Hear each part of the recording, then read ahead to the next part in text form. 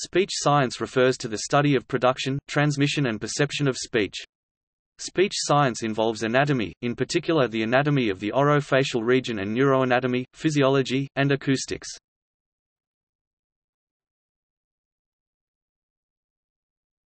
Topic: Speech production. The production of speech is a highly complex motor task that involves approximately 100 orofacial, laryngeal, pharyngeal, and respiratory muscles. Precise and expeditious timing of these muscles is essential for the production of temporally complex speech sounds, which are characterized by transitions as short as 10 milliseconds between frequency bands and an average speaking rate of approximately 15 sounds per second. Speech production requires airflow from the lungs respiration to be phonated through the vocal folds of the larynx phonation and resonated in the vocal cavities shaped by the jaw, soft palate, lips, tongue and other articulators articulation.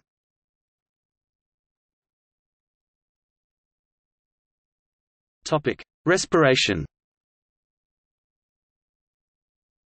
Respiration is the physical process of gas exchange between an organism and its environment involving four steps ventilation, distribution, perfusion and diffusion and two processes inspiration and expiration.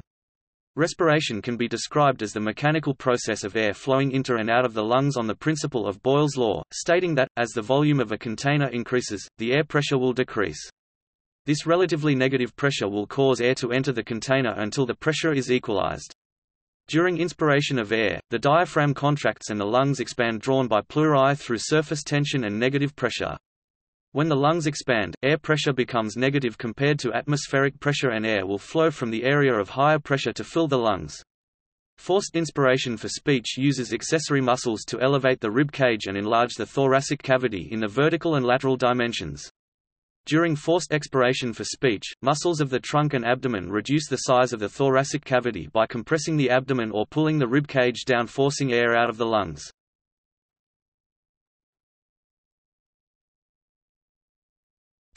Phonation Phonation is the production of a periodic sound wave by vibration of the vocal folds. Airflow from the lungs, as well as laryngeal muscle contraction, causes movement of the vocal folds. It is the properties of tension and elasticity that allow the vocal folds to be stretched, bunched, brought together and separated. During prephonation, the vocal folds move from the abducted to adducted position. Subglottal pressure builds and air flow forces the folds apart, inferiorly to superiorly. If the volume of airflow is constant, the velocity of the flow will increase at the area of constriction and cause a decrease in pressure below once distributed. This negative pressure will pull the initially blow open folds back together again. The cycle repeats until the vocal folds are abducted to inhibit phonation or to take a breath.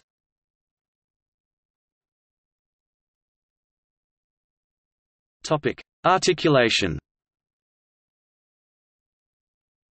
In a third process of speech production, articulation, mobile and immobile structures of the face articulators adjust the shape of the mouth, pharynx and nasal cavities vocal tract as the vocal fold vibration sound passes through producing varying resonant frequencies.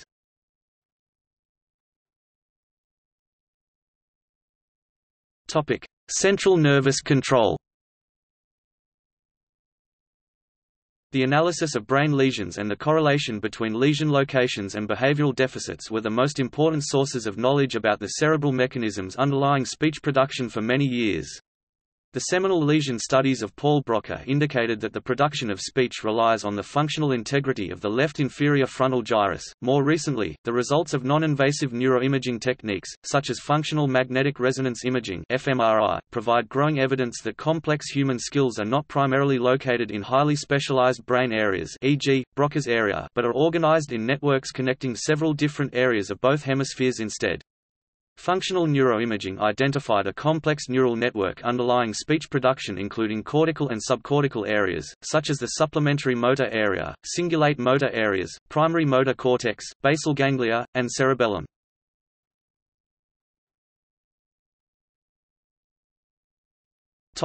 Speech perception Speech perception refers to the understanding of speech. The beginning of the process towards understanding speech is first hearing the message that is spoken. The auditory system receives sound signals starting at the outer ear. They enter the pinna and continue into the external auditory canal, ear canal and then to the eardrum. Once in the middle ear, which consists of the malleus, the incus, and the stapes, the sounds are changed into mechanical energy. After being converted into mechanical energy, the message reaches the oval window, which is the beginning of the inner ear. Once inside the inner ear, the message is transferred into hydraulic energy by going through the cochlea, which is filled with fluid, and onto the organ of Corti. This organ again helps the sound to be transferred into a neural impulse that stimulates the auditory pathway and reaches the brain. Sound is then processed in Heschl's gyrus and associated with meaning in Wernicke's area. As for theories of speech perception, there are a motor and an auditory theory. The motor theory is based upon the premise that speech sounds are encoded in the acoustic signal rather than enciphered in it. The auditory theory puts greater emphasis on the sensory and filtering mechanisms of the listener and suggests that speech knowledge is a minor role that's only used in hard perceptual conditions.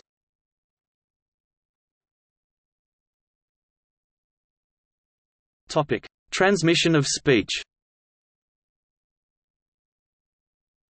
Speech is transmitted through sound waves, which follow the basic principles of acoustics.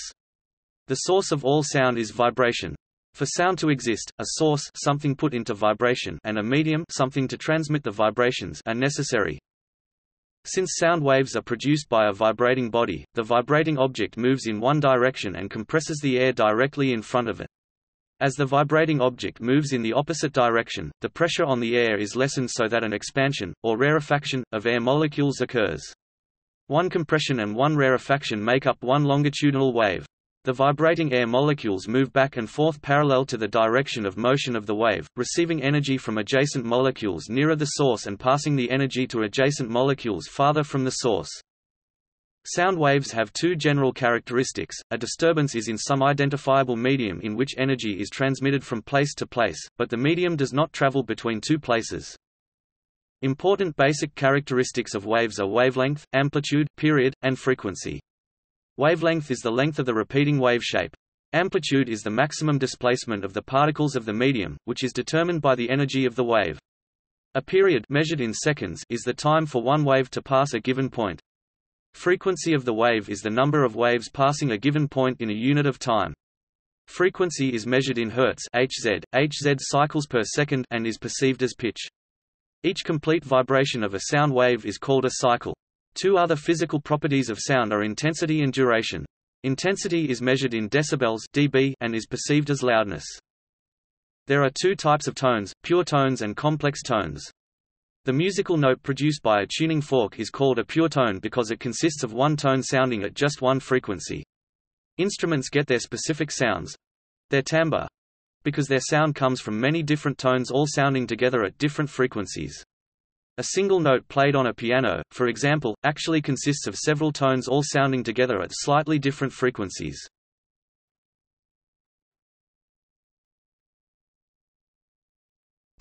See also